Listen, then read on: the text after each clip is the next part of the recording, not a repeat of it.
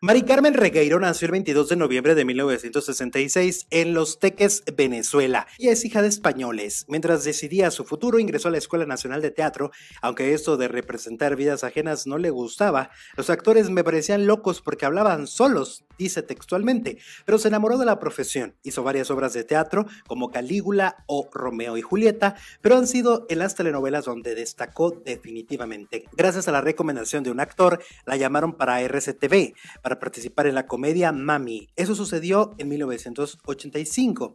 Luego intervino en Cristal, luego La Intrusa y Mi amada Beatriz, pero su primera producción como protagonista fue Señora, por la que recibió el premio a la mejor actriz revelación de Venezuela. Mari Carmen Regueiro y Gabriel Corrado formaron una de las duplas más exitosas de los noventas y de las telenovelas. En Princesa, la telenovela se emitía por Canal 9.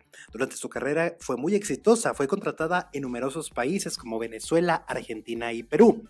Pero cuando Mari Carmen Regueiro estaba en pleno auge y ya casada con el actor Diego Berti, una tragedia personal marcó su vida. Una de sus hermanas falleció en un accidente y ella tomó la custodia de sus dos sobrinos. Luego se separó de Berti y logró retomar su vida con Ramiro Eimer. Todo parecía perfecto, pero otra tragedia se desencadenó en su vida.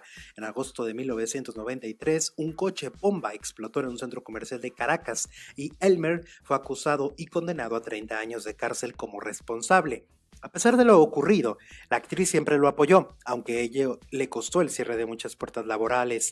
Años después, Regueiro volvió a la pantalla chica junto a un papel secundario de Milady, y esa fue la última vez que grabó en Argentina. Recientemente le preguntaron y ella dijo que no se veía envejeciendo en los escenarios y que deseaba una vida tranquila y en paz dedicada a su familia. ¿Qué tal? ¿Tú la recuerdas?